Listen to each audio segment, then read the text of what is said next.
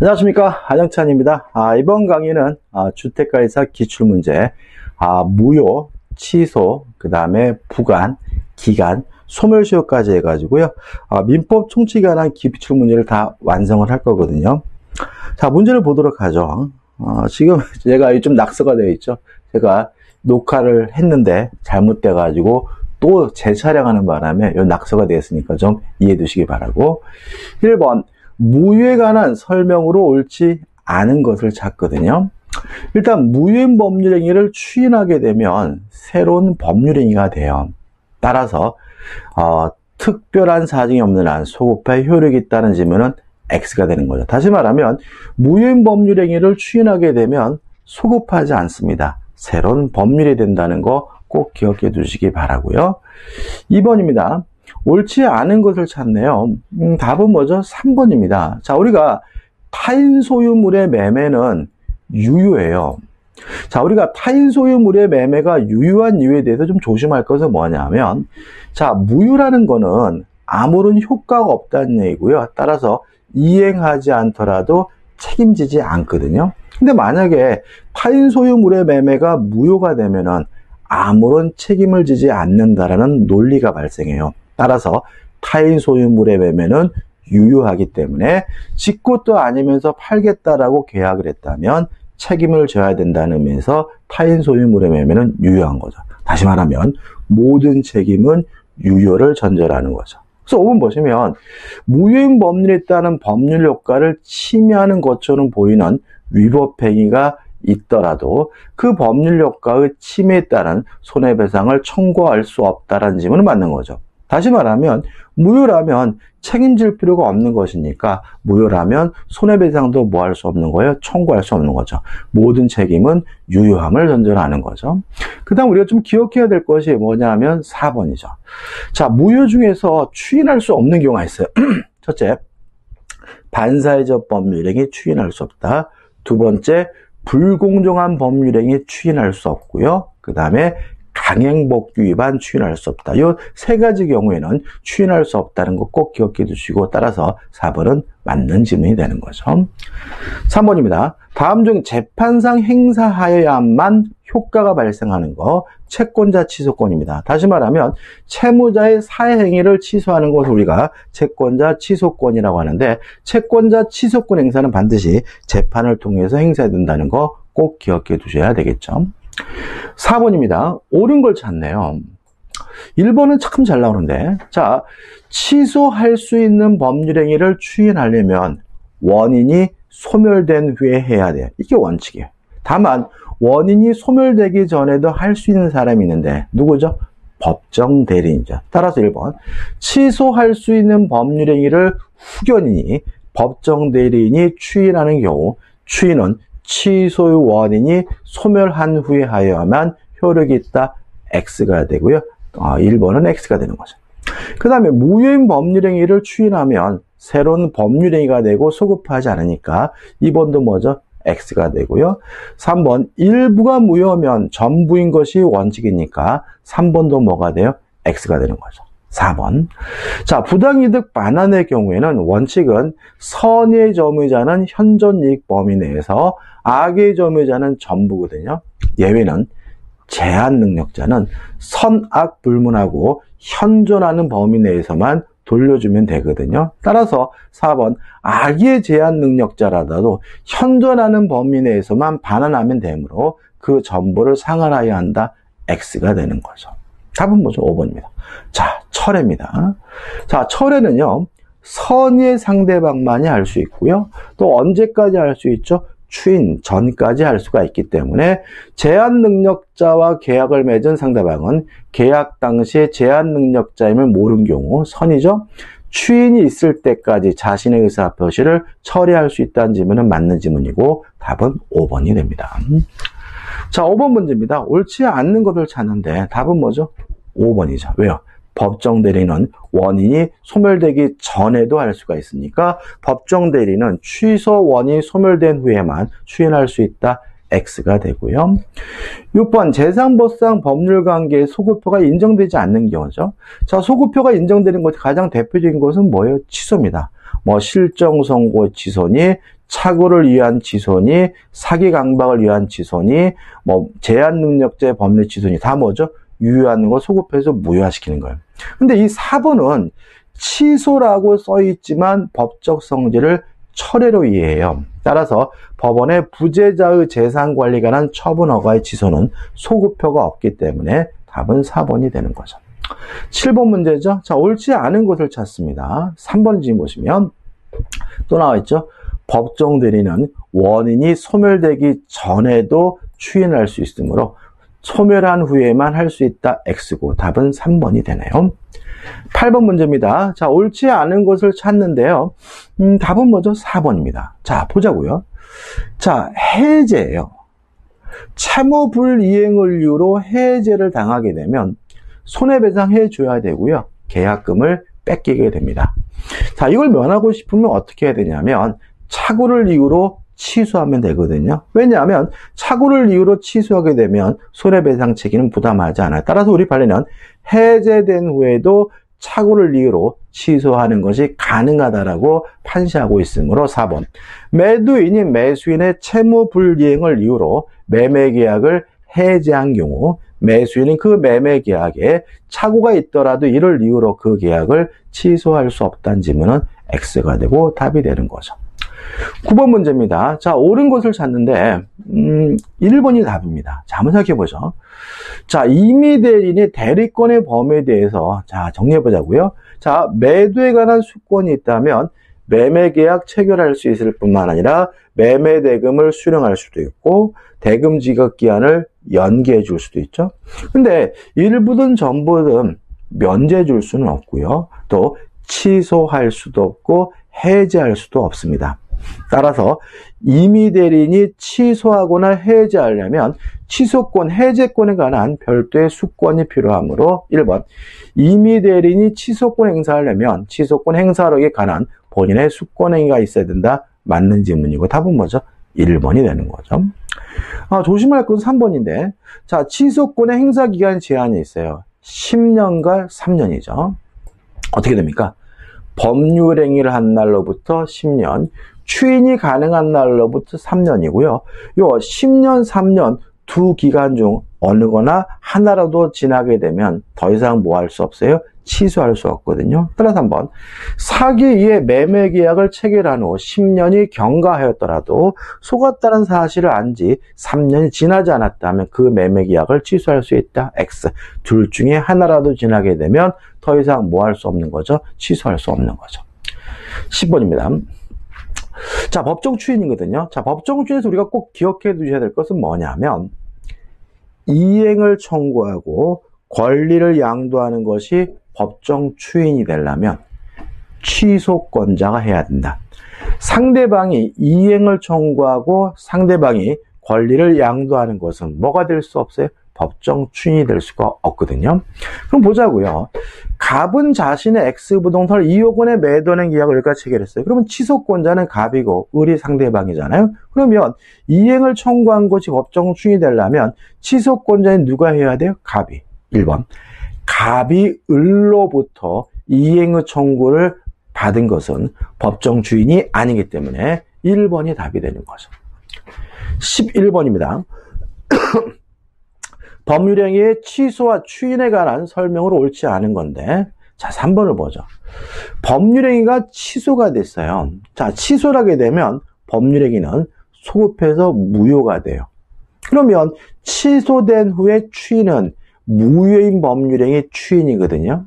다시 말하면 취소를 하게 되면 소급해서 무효가 되니까 무효인 법률행위로서 추인할 수 있을 뿐이거든요. 따라서 한번 법률행위가 취소된 경우 취소권자는 취소할 수 있는 법률행위의 추인이 가여 취소된 법률행위를 유효하게 할 수 있다. X가 되고요. 답은 3번이 되는 거죠.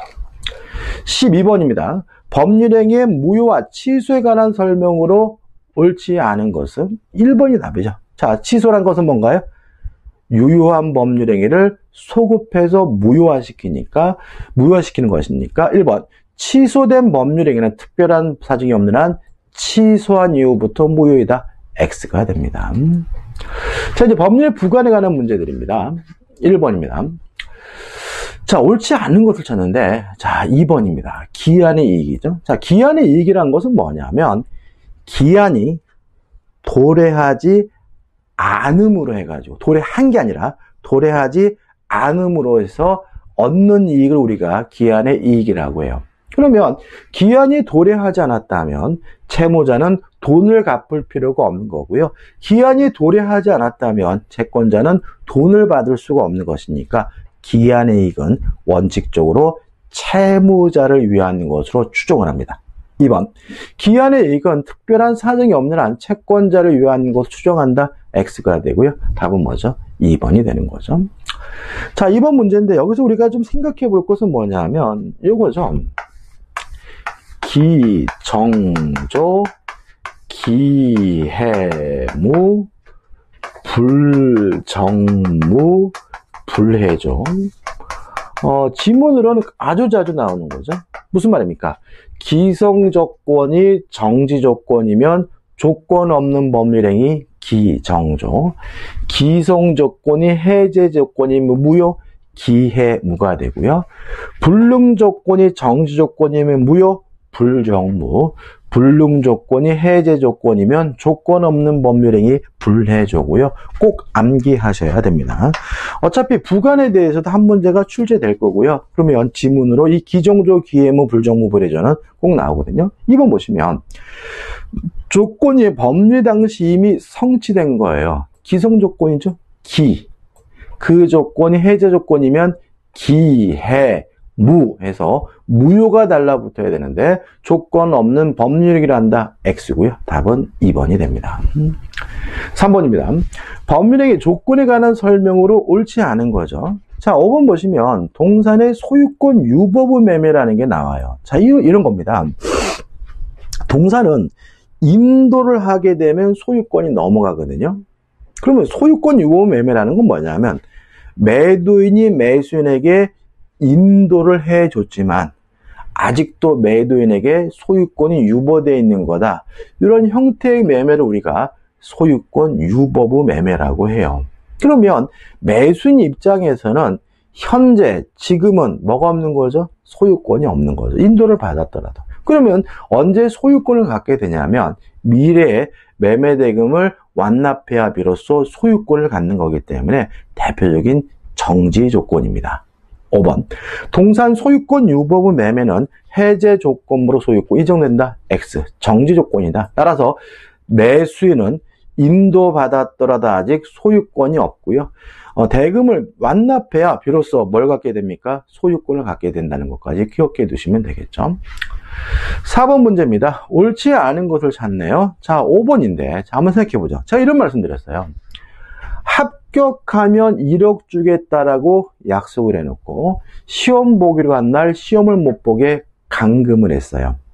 5번 조건의 성취를 인하여 불이익을 받을 당사자가 신의 성실에 반하여 조건의 성취를 방해한 경우죠.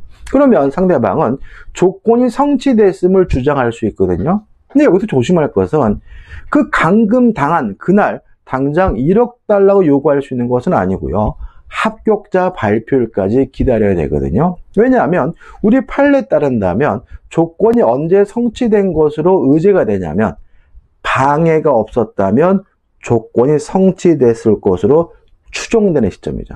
방해가 없었다면 합격자 발표일이 돼야 비로소 합격할 수 있는 거거든요. 따라서 그 방해 시에 조건이 성취된 것으로 추정된다는 지문은 X가 되고요. 답은 5번이 되는 거죠. 이 판례도 좀 기억해 두시기 바라고 보시면 의제되는 시점은 이러한 신의성실 발언 행위가 없었더라면 조건이 성취되었으라고 추산되는 시점이다. 기억해 두셔야 되겠죠? 자, 5번 문제입니다. 자, 옳은 것을 찾는데 자, 정지 조건이란 1번인데 현재 지금은 효과가 없지만 미래에 조건이 성취가 되면 효과가 생기는 거죠. 그러면 정지 조건이 성취되었다는 사실은 효과 발생을 주장하는 자가 입증하는 거죠. 따라서 1번 정지 조건부 법률에 있어서 조건이 성취되었다는 사실은 조건이 성취되면 효과가 생기니까 권리를 취득하는 자가 증명하여야 한다. 맞는 질문이고 답은 뭐죠? 1번이 되겠죠. 뭐 2번은 너무나 당연한 거고 3번 조건이 반사에 적으면 조건만 무효인 것이 아니라 법률행위 전체가 다 무효가 되고요. 4번 불능 조건이 정조건 불정무 무효해야 되는데 조건 없는 범죄 된다. X가 되죠. 5번 조건 성취 효과는 소급하지 않지만 당사자 간의 특약으로 소급시키는 것은 가능합니다. 자, 6번이죠. 기한의 이익을 갖는 자입니다. 자, 이렇게 기억하시면 돼요. 무상이면 채무자만, 유상이면 채권자, 채무자 모두. 무상 임치 계약은 채권자인 임친에게만. 그러면 기억 사용 대차는 항상 무상이죠. 그러면 채무자인 차주에게 기한액이 있고요. 임대차는 유상이죠. 따라서 임찬 임대 모두에게 기한액이 있고요. 둘 다 기한액이 있는 거죠. 무상 임치면 채권자인 임치만 기한액이 있으니까 디귿번은 뭐가 돼요? X가 되고 그 다음에 이자가 없으면 무상 이자가 있으면 유상인데 없든 있든 유상이든 무상이든 채무자는 모두 기한의 이익이 있는 거니까 이익이 없는 사람 누구죠? 디귿이고 따라 답은 4번이 되는 거죠. 7번입니다. 채권 조건과 기한에 관한 설명으로 옳지 않은 것을 찾네요. 1번이 답이죠. 기한은 채무자에게 이익인 것으로 뭐합니까? 추정을 합니다. 채권자 X네요. 자, 이제 기간을 갑니다. 아, 기간에 대해서는 우리가 어렵게 생각하시는 분이 많은데 어렵게 출제되지는 않으니까 너무 걱정하지 마시고요. 자, 우리가 기간을 계산할 때는 초일을 산입합니다. 따라서 시작하는 날과 끝나는 날이 일치가 되고요. 근데 끝나는 날이 만약에 존재하지 않는다면 그달 말일이 끝나는 날이거든요. 그럼 3번 보시면 2015년 5월 31일 10시부터 1개월이에요. 그러면 초일을 산입하지 않는 결과 끝나는 날은 뭐죠? 6월 31일이 돼야 되겠죠? 근데 6월 달에는 31일이 없어요. 그래서 6월 30날입니다. 6월 30날 자정이기 때문에 2013년 6월 30날 10시가 아니라 자정이므로 3번은 뭐가 되죠? X가 되는 거죠. 자, 2번입니다. 역산할 때, 거꾸로 계산할 때도 뭐죠? 어, 거꾸로 계산할 때도 똑같아요. 자, 보세요. 자, 보시면. 어, 2013년 3월 19일부터 일주일이잖아요. 그러면 3월 19일부터 전으로 거꾸로 7일이란 말이죠. 그러면 역산할 때도 거꾸로 계산할 때도 초일을 산입하지 않기 때문에 며칠부터요? 3월 18일부터 7일이니까 3월 18일부터 7을 빼면 며칠이 됩니까? 3월 11일이 되겠죠. 그럼 결국은 3월 11일 날 뭐예요? 자정이 되겠죠. 그러면 답은 뭐 몇 번이면 알 수 있죠? 3번임을 우리가 알 수가 있는 거죠. 답은 3번입니다. 아, 3번입니다. 아, 이거 보이셨나? 이거 안 보셨을 것 같은데 다시 한번 볼까요? 어이구 참 그죠? 안 보이셨죠? 그죠? 다시 할게요. 자, 어, 3월 19일부터 역으로 뭐죠? 7일이잖아요. 그러면 초일을 산입하지, 역산, 거꾸로 계산할 때 초일을 산입하지 않기 때문에 3월 18일부터 계산하고요. 3월 18일부터 계산한다는 말은 3월 18일에서 7일을 빼면 되겠죠. 그럼 게 며칠이 됩니까? 3월 11일 자정이 된다. 열심히 썼는데 보이지 않았습니다. 죄송합니다. 자, 그러면 이제 다시 음, 3번이죠. 자, 3번 옳지 않는 것을 찾는데요. 1번이 답이죠. 자, 우리 민법에서 규정하고 있는 요 기간 계산에 관한 내용은 공법적 영역에서 정해야죠. 뭐 선거 날짜를 계산할 때도 적용하고요. 대통령 임기를 계산할 때도 적용이 되기 때문에 1번 기간 계산에 관한 민법 규정은 공법 관계에 적용되지 않는다. X가 되고요. 답은 1번이 됩니다. 음. 자, 소멸시효죠. 아, 소멸시에 걸리는 권리. 자, 뭐 걸립니까? 채권과 용익물권. 채권과 용익물권만 소멸시 권리죠. 따라서 지역권은 용익물권이니까 소멸시 권리니까 답은 뭐죠? 1번. 유치권, 담보물권 소멸시 권리지 않고요. 점유권, 소유권, 소멸시 권리지 않고 공유물 분할 청구권 시험이 참잘 나오는데 형성권입니다. 채권과 용익물권만 소멸시 권리거든요. 그 다음에 소멸시 권리 4번 공유물 분할 청구권은 형성권이니까 당연히 뭐에 걸리지 않나요? 소멸시 걸리지 않겠죠. 5번 물권은 청구권이죠. 뭐 소멸시 걸리지 않습니다. 채권과 용익물권만 소멸시 걸려. 답은 뭐죠? 1번이죠. 2번입니다. 자, 옳지 않은 것 찾는데 소멸시에 관한 민법 규정은 채무자를 보호하기 위한 규정이에요. 따라서 채무자에게 불리한 특약은 무효입니다.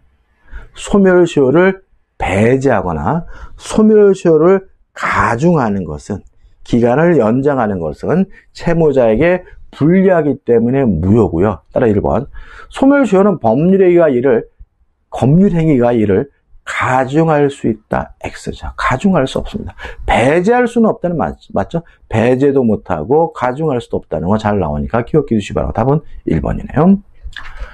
자, 3번입니다. 어, 소멸시와 제척기간에 관한 설명으로 옳은 것을 찾네요. 음, 일단 1번 채권 양도의 통지는 채권을 양도했다는 통지는 권리 행사가 아니죠. 따라서 채권 양도의 통지만으로도 제적 기간의 준수에 필요한 권리의 재판의 행사로 볼 수 있다. X가 되는 거죠. 2번 점유물 반환 충고권 행사 기간은 1년이에요. 근데 1년에 대해서 우리 판례는 그것을 제척 기간으로 이해하고요. 또 1년 내에 소송을 제기할 수 있다 출소 기간으로 이해하고 있기 때문에 출소 기간을 의미하지 않는다. X가 되는 거죠. 3번 소멸시효 기간 연장할 수 없어요. 근데 제척 기간도 연장할 수 없습니다. 따라서 3번도 뭐가 돼요? X가 되는 거죠. 4번 소멸시효 완성 후 채무 승인이 있었어요? 그러면 소멸시익이 포기한 것을 뭐가 되냐면 간주가 되는 것이 아니라 추정이 될 뿐이기 때문에 4번도 뭐죠? X죠. 답은 5번입니다. 왜냐하면 공유물 분할 청구권은 형성권이다. 채권도 아니고 용익물권도 아니기 때문에 소멸시 걸리지 않습니다. 옳은 것은 5번이 되네요. 4번 문제입니다. 소멸시효의 대상이 되는 권리에 관한 설명으로 옳은 것은이죠.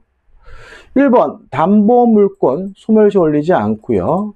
2번 물권적 청구권 소멸시 걸리지 않고 공유물 분할 청구권도 형성권이니까 소멸시 걸리지 않죠. 근데 근저당권 설정 등기 청구권은 채권도 청구권이고요. 채권도 청구권은 채권이니까 뭐에 걸려야 돼요? 소멸시효에 걸려야 되므로 그 피담보 채권이 될 채권과 별거로 설계로 소멸시 효 걸린다. 맞는 지문이 되겠죠. 그게 뭐 5번입니다. 이것도 좀 꼭 기억해 두셔야 되는데 자 매수인의 등기 청구권은 물권적 청구권이 아니라 채권적 청구권이기 때문에 소멸시효 걸려야 되는 것이 원칙이에요. 다만 매수인이 인도받아 점유를 계속하고 있거나 또는 매수인이 적극적으로 자신의 권리를 처분했다는 이유로 점유를 상실하게 된 경우에는 이 사람의 등기 청구권은 소멸시효 걸리지 않는다라고 우리 판례가 판시하고 있고요. 아주 시험에 잘 나오는 내용이니까 꼭 기억해 두셔야 되겠죠. 음, 따라서 5번을 다시 보시면 부동산을 매수한 자가 그 목좀 인도받아 사용 수익하고 있어요. 점유하고 있어요. 그러면 소멸시 걸리지 않으니까 매수인의 소유권 이전 등기 청구권은 소멸시 걸린다. X가 되는 거죠. 옳은 것은 4번이 됩니다. 5번입니다. 자, 옳지 않는 것을 찾는데, 자, 3번 보세요. 부동산 매도인의 매매 대금 청구권은 매수인의 소유권 이전 등기 청구권 서로 동시 이행 관계 있어요. 물론 여기까지 맞죠. 자, 우리가 동시 이행 항변권이 인정되더라도 채권의 소멸 시효는 정상적으로 진행이 돼요. 같이 기억해야 될 것이 뭐냐면 유치권이에요. 유치권 행사하더라도 채권의 소멸시효는 정상적으로 진행이 되거든요. 따라서 매도인에게 동시 이행 항변권이 인정되는 한 매매 대금 채권의 소멸시효는 진행하지 않는다. X가 되고요. 답은 3번이 되는 거죠. 자, 6번입니다. 아, 자, 부동산을 가압류했어요. 그러면, 음, 권리 행사니까 소멸시효가 뭐가 되겠어요? 중단이 되겠죠? 근데 만약에 그 가압류가 말소가 됐어요. 그러면 말소된 때부터 소멸시효가 다시 시작이 되겠죠. 따라서 그 말소 시점에 가압류에 의한 시효 중단의 효력이 종료된다. 맞는 질문이요. 답은 뭐죠? 2번이 되는 거죠.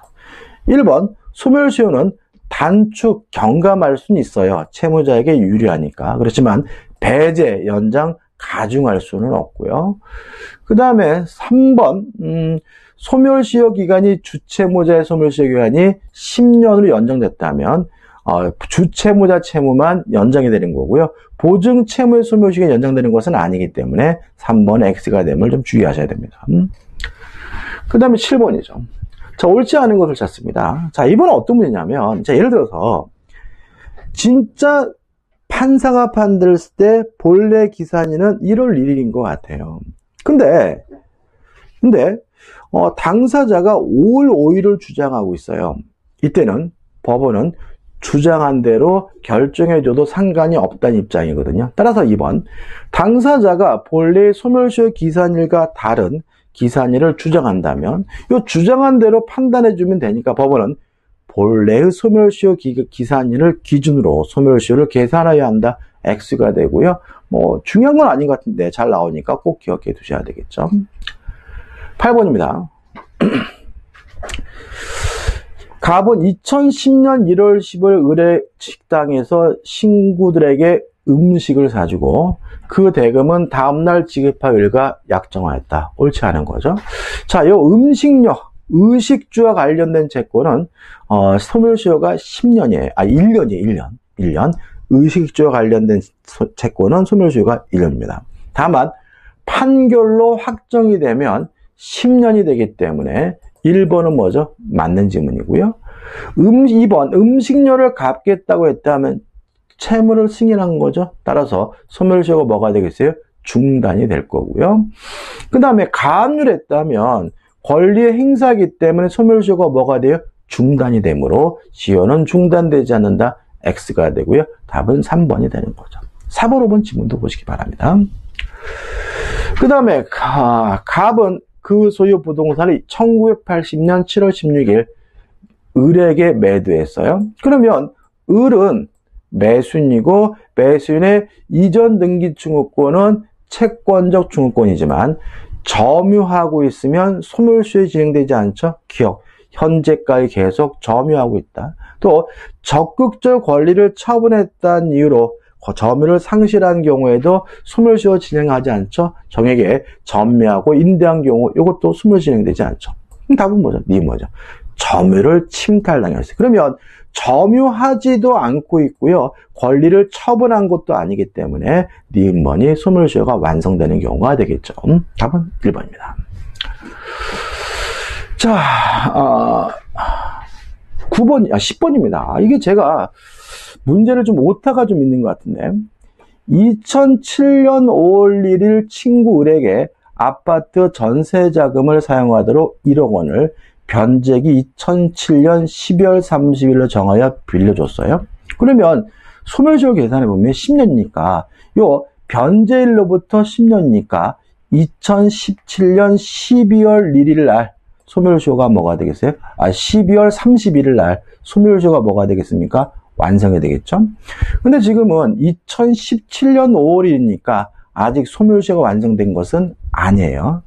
따라서 옳은 걸 찾는데 1번 10년 도래 전임으로 갑의 대여금 채권은 시효로 소멸하지 않는다. 요거는 맞는 지문입니다. 이게 오타가 있는 것 같아요. 그래서 현재 상태에서는 1번도 맞는 지문이고 어, 4번도 맞는 지문이에요. 자, 왜냐하면 자, 2017년 5월 30일 대여금 채권 1억 원의 지급을 구하는 소송을 제기했어요. 그러면 권리를 행사하겠으니까 소멸시효가 뭐가 돼요? 중단이 되고 다시 시작하게 되는데 언제부터 다시 시작하게 되냐면 판결이 확정된 때로부터 다시 시작하므로 승소 판결이 확정된다면 그 확정된 때로부터 새로 10년이 시효 진행된다? 맞는 질문이죠. 그래서 현재 상태는 1번과 4번이 답이고요. 이 설명도 잘못된 거니까 좀 조심하시기 바랍니다. 죄송합니다.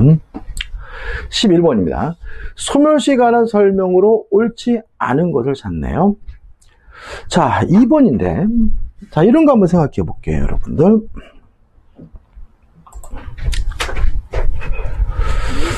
자, 갑이 을에게 1억 원을 빌려줘서 1억을 받을 채권이 있고요. 병도 갑에게 1억 5천을 빌려줘서 1억을 받을 채권이 있어요.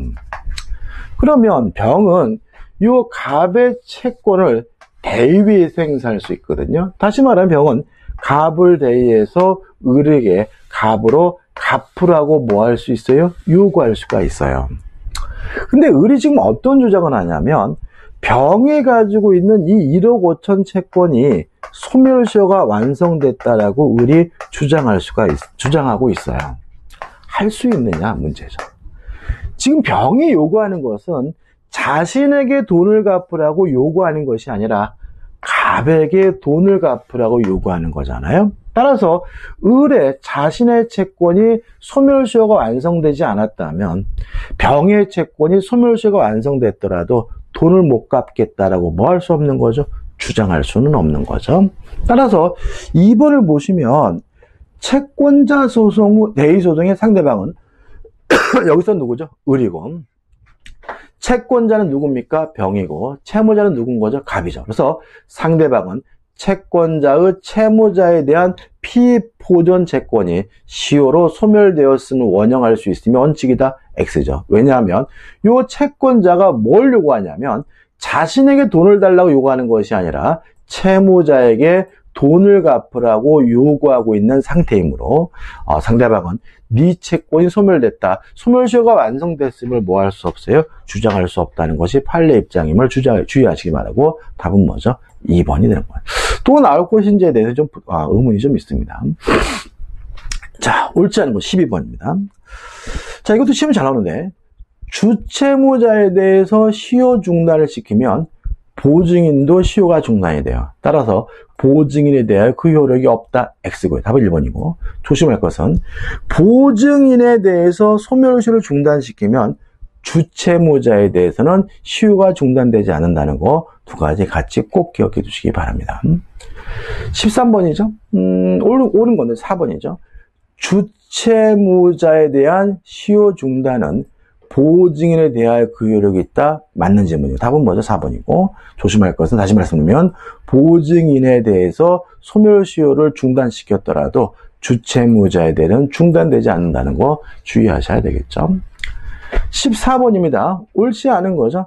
자, 부작위를 목적으로 한 채권의 소멸시효는 위반 행위를 한때부터 진행이 되거든요. 따라서 계약 체결 시부터 진행한다. X고요. 답은 뭐죠? 3번이죠.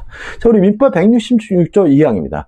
부작위 채권은 이반 행위가 있을 때부터 소멸시효가 진행한다라고 판시하고 있는 거죠.